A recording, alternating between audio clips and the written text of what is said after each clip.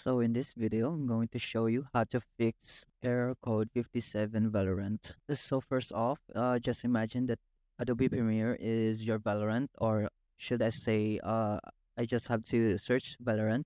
And as you can see, you, you must um, run as administrator for this application or you should go to open file location and open file location again. And once you are in here you just go click or right click and click properties. Now once you're in here you, just have to go to compatibility.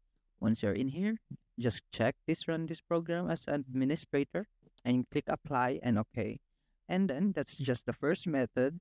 For the second method is just click or search for cmd and once you're in here you must um use this um command sc delete vgk and just enter. Now if it doesn't work you just have to reinstall your valorant and furthermore the fourth method is just go to um click windows r and just click or search for local app data and click ok. And once you're in here you must have search valorant and just delete your valorant file in this um file. So for example just imagine that one drive is your valorant. You must delete this because this is the cake of your valorant and that's